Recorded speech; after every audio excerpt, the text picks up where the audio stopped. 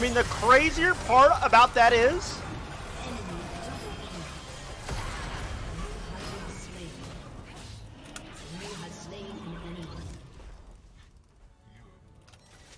Your turret has been destroyed.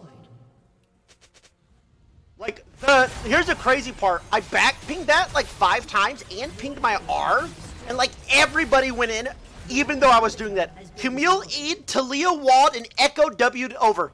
So all three of these, all three of my teammates went in there, despite me pinging.